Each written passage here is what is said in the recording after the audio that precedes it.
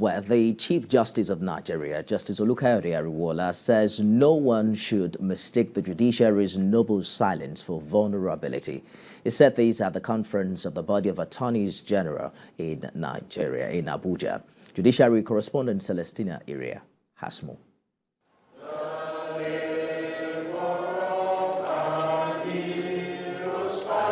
This conference is a platform for attorneys general of the Federation and the states to discuss and build consensus on pertinent legal issues affecting the Federation.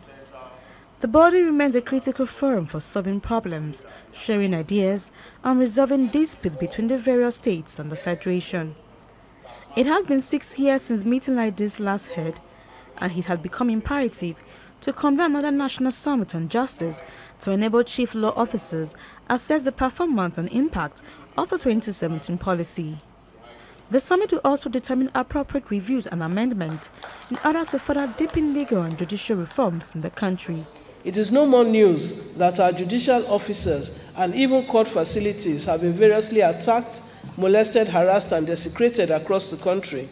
I wish to let whoever cares to listen know that nobody, no matter his or position in the society, should make mistake our golden silence for weakness or vulnerability.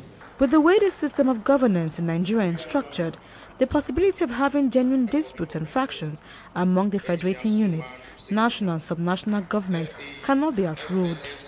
I challenge us all to focus on identifying areas of fair review and synergy in our legal systems in terms of legislations, policies, procedures, capacity building, funding structures, or facilities, among others. The driving philosophy behind this assembly of chief law officers is to narrow down areas of challenges while advancing the course of mutuality and how we deploy the instrumentality of the law to impact positively on the attainment of the agenda of our principles. On a daily basis, attorneys general are involved in uh, in the discharge of your responsibilities in doing things that would continue to sustain the federating units and by extension the federation.